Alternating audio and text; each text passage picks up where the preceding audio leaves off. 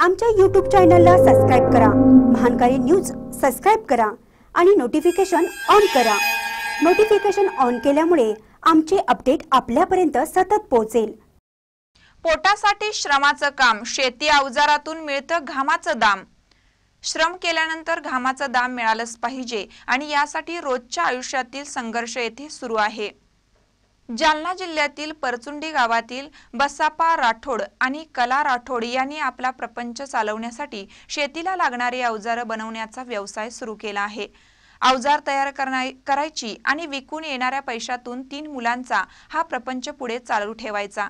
उघड्यावर स्वयंपाक करायचा सकाळची थंडी दुपारी कडक ऊन आणि संध्याकाळी दमट वातावरण या सगळ्याचे चटके सहन करत पोटाची खळगी भरण्यासाठी राठोड कुटुंबाला मेहनती मेहनत करावी लागते.